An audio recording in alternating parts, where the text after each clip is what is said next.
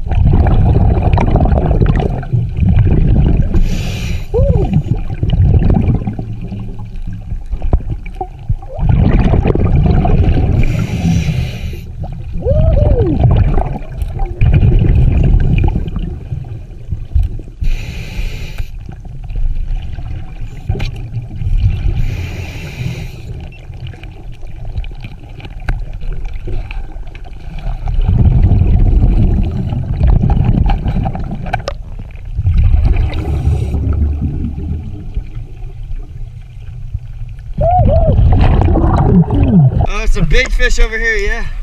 Yeah. Number one rule, Brandon, is not to tell them where the real fish are at. I let, I told them over here. They're not over there. Yeah.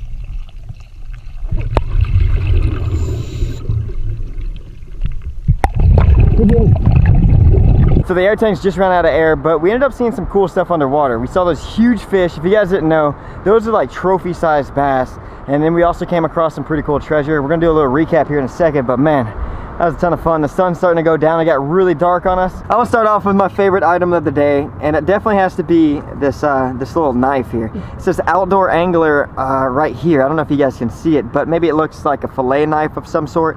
Maybe a catfisherman lost it when they uh, they're filleting a catfish or something. But You never know what happened with that knife. Dude, every time we find a knife, we're always like potential murder weapon. This is actually my second favorite find of the day, and it's actually really cool. Check out this glass bottle here.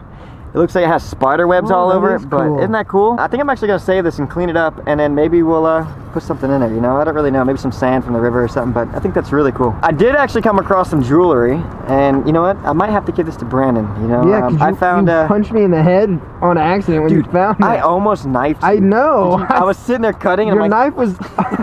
my whole thing was starting to fill back up, so I'm trying to swim, and next thing I know, I had my knife in my hand. Brandon's right over here, almost like cut his face. That'd been terrible, but you know what, Brandon? I'm gonna make it up to you. I got some jewelry for you. You know, I found some the other day, but I know you need some too. you are the greatest friend ever. You're welcome. Thank you so much, brother. That's for knifing me. I did come across a handful of fishing lures, but not too many today. We saw a couple of these uh, bigger swim baits here, but look at these things, man. These are huge. oh my Gross. god. Look at this. the this. mega fluke dong, dude. this is a fluke right here, and this is what happens when the fluke stays in the water for a very long time. It sponges up and grows. I'm telling you, the whole day, Brandon, I was floating like nonstop. Something's wrong with my scuba stuff. Look at it. It's blowing up by itself. That was going on? Yeah, I'm telling you. there was moments I was like 20 feet down. I'm like, Brandon, I'm like, I'm starting to float back up. I'm like, what the heck? I pulled you down at one point. Remember, I grabbed you by your belt. And That's why, down. man. It's just automatically filling up on me. I know what I'm doing. When I know what I'm doing. Diving stuff. I learned that in period two at Navy school before I dropped out. I even put rocks where I, I was supposed to put extra weights. Did you learn that in dive school? I did. I got more over here too. I got some more up here too. I can't get them, Brandon. You help me? Jacobson, I'll help you. Look at one.